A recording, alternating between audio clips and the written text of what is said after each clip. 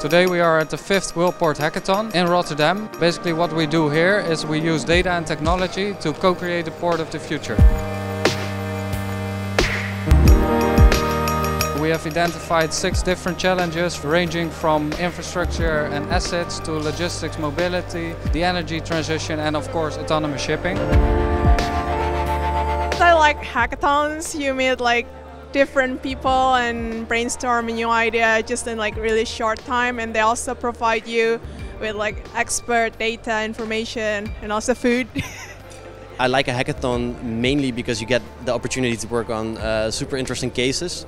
People are very helpful, collaborative, even though you are competing against each other. So that's pretty cool. Don't expect to sleep much the next two days. Besides that, I expect a lot of fun. Just programming and just go into the code and just do create something great. We're working on uh, solving the dredging schedule issues. Uh, cascading effects in the network. Yeah, we love competition.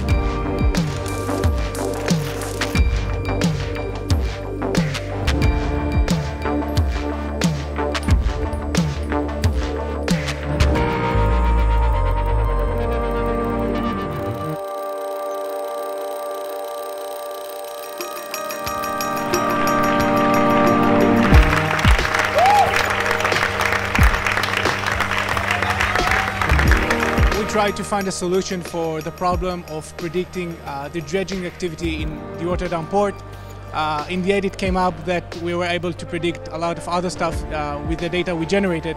But basically, uh, we were able to predict uh, dredging activity for months ahead and help the port to schedule its maintenance activity. We're gonna start a company and uh, probably gonna go global. In six months, you're gonna hear about us again.